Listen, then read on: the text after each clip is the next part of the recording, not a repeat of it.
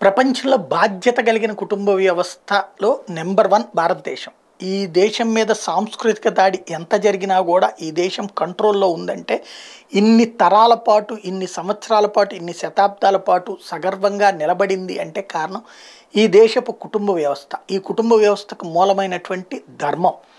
హిందూ ధర్మమే కావచ్చు ముస్లిం ధర్మమే కావచ్చు క్రైస్తవ ధర్మమే కావచ్చు ఈ దేశంలో పుట్టిన ప్రతి ఒక్కళ్ళు కూడా కుటుంబ ధర్మాన్ని పాటించుకుంటూ వచ్చారు. ఒకప్పుడు ఉమ్మడి కుటుంబాలు ఉమ్మడి కుటుంబాలు వ్యక్తి కుటుంబాలు అయినంత వరకు కూడా ఈ ధర్మం బాగానే ఉంది. చదువులు పెరిగినాయి ఉన్నత స్థానాలకు చేరారు. విచ్చలవిడి స్వేచ్ఛ అనగానే అపరిమితమైన స్వేచ్ఛ అనుభవిస్తున్నారు.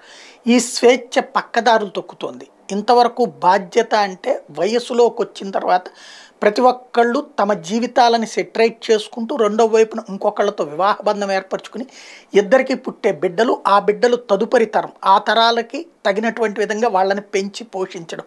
ఇదొక నిత్య నిరంతర కృషిగా ఉండేది. ఇదొక బాధ్యత కింద ఫీల్ అయ్యేవాళ్ళు. ఇప్పుడు ఈ బాధ్యతలు పక్కకి వెళ్ళిపోయి కేవలం హక్కులు మాత్రమే నడుస్తున్నటువంటి సందర్భం స్పష్టంగా కనబడుతుంది. ఈ హక్కులలో పెళ్ళిళ్ళు మాకొద్దు లేదా పెళ్ళి చేసుకోవాలంటే అత్తగారు వద్దు బావగారు వద్దు మరిది గారు ఉండకూడదు లేకపోతే ఆడబడుచు ఉండకూడదు ప్లస్ డబ్బులు మాత్రం లక్ష లక్షలు సంపాదించాలా? నా మొగుడు నాతోనే ఉండాలి నా మాట వినాలి వాళ్ళ అమ్మ నాన్న మాట వినకూడదు ఆస్తులు మాత్రం వాళ్ళే తీసుకోవాలి అవి నాకు ఇవ్వాలి నాకు ఖర్చు పెట్టాలి అనేటువంటి ఒక ధోరణి. అదే సందర్భంలో తమ బిడ్డల్ని అలా బాధ్యతలు లేని వాళ్ళకే ఇవ్వాలనేటువంటి తల్లిదండ్రుల ఫీలింగ్ ఒకవేళ ఏదైనా చిన్నపాటి సమస్యలు వచ్చి ఇద్దరు గొడవ పడుతుంటే మరింతగా పెంచి పోషించి విడిగా ఉండిపోదు కానీ నీకేం తక్కువ అంటూ వచ్చినటువంటి ధోరణి. ఒకప్పుడు ఎంత సమస్య అయినా కలిపేటువంటి దశ నుండి చిన్న సమస్యకు కూడా విడిపోతున్నటువంటి ధోరణులు ఒకవైపు అయితే ఇంకోవైపున లగ్జూరియస్ లైఫ్ ఇంకా ఏదో అనుభవించాలి ఏదో అనుభవించాలి. ఆ మధ్యకాలంలో ఒకప్పుడు విపరీతమైన ఖర్చుతో కూడినటువంటి పెళ్ళిళ్ళ ట్రెండ్. ఐదు రోజుల పెళ్ళిళ్ళ నుండి ఒక రోజుకి వచ్చి ఒక పూటకు వస్తే ఇప్పుడు మళ్ళీ భారీ వివాహ ఖర్చులు.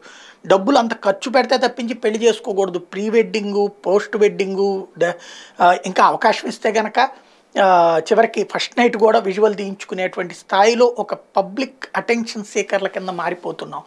దీనికి తోడుగా మేకప్ మెటీరియల్స్ లేకపోతే కనుక పాప్ కల్చర్ వైపుకి పోతున్నాం. ఇది దేశానికి ప్రయోజనమా నష్టమా అంటే ఖచ్చితంగా ఇక్కడ బాధ్యత లేని హక్కు ఎప్పుడైనా సరే ప్రమాదమే.